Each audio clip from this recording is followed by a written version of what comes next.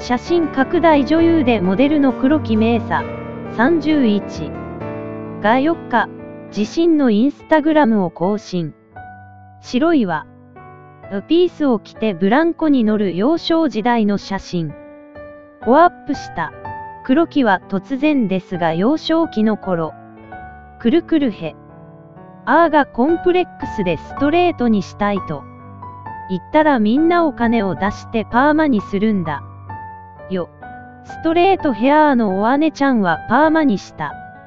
くて、あなたはストレートにしたい。なんだろ。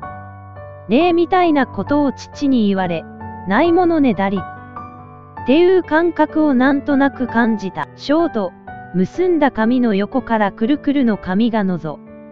く写真に添えてコメントした。現在は黒髪のストレートヘアが印象的な黒木。Now, I miss my curly hair. 今は巻き毛が恋しい。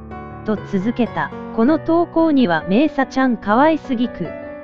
ルクルのメイサも絶対可愛いからコンプレ。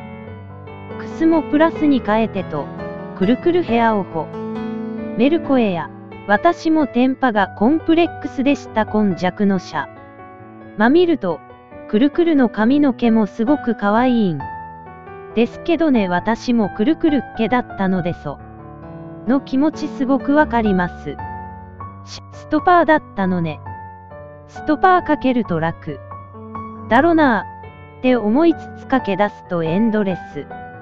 だからなぁ、と同じ悩みを告白するコメントが寄せられた。